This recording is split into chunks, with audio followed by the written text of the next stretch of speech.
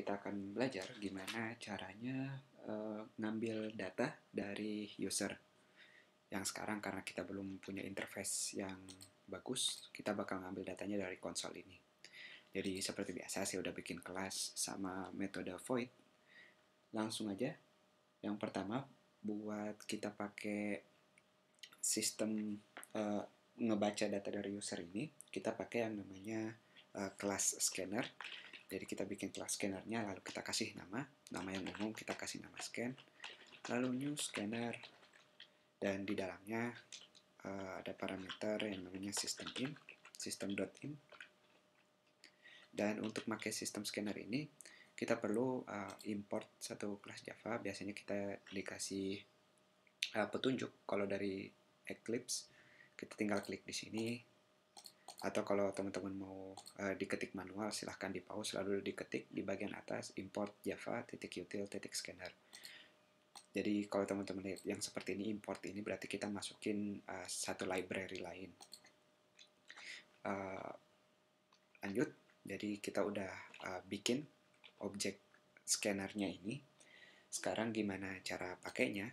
Biar lebih interaktif kita tanya dulu usernya harus masukin apa sih misalnya kita suruh usernya masukin nama berarti kita ngeprint dulu yang pertama sistem out print jadi usernya bisa baca nantinya.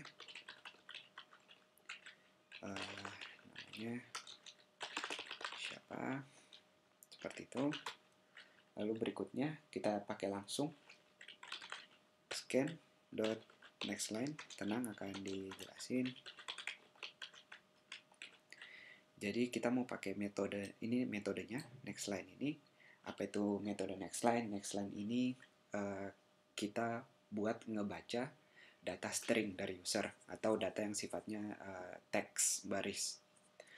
Jadi untuk pakai metode ini karena dia punya metode scanner kita harus nyebutin objeknya dulu yaitu scan baru titik metodenya. Kita mau simpan dia di variabel biar kita bisa pakai ulang.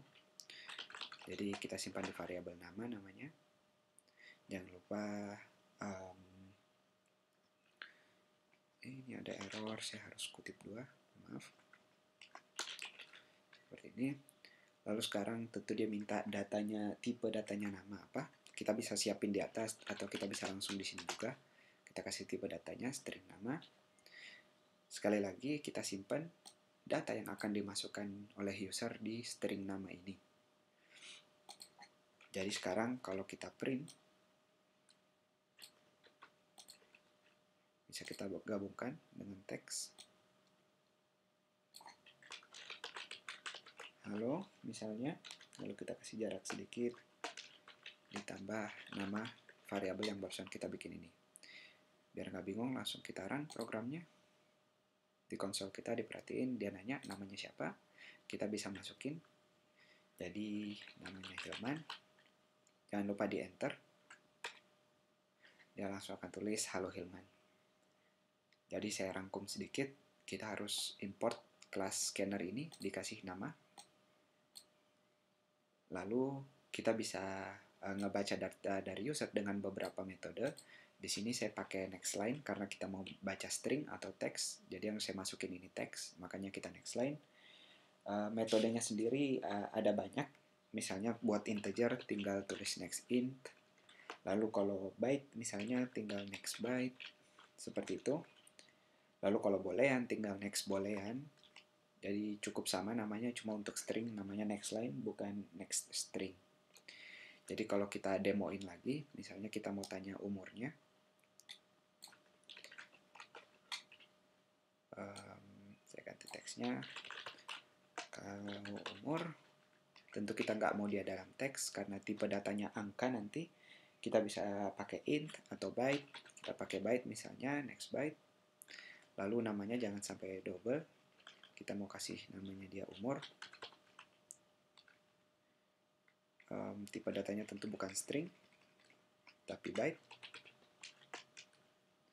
Lalu sekarang um, masih ada salah coba saya lihat.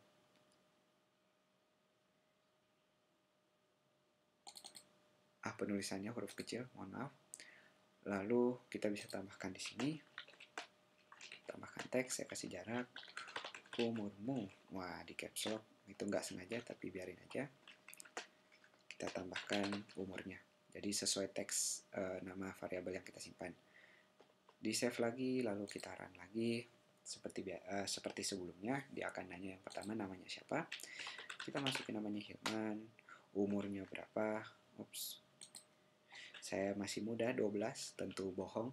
Tapi ini cuma contoh aja jadi dia ngeluarin halo Hilman umurnya 12 jadi itu dia uh, cara ngebaca input dari user. Semoga jelas sampai jumpa di video berikutnya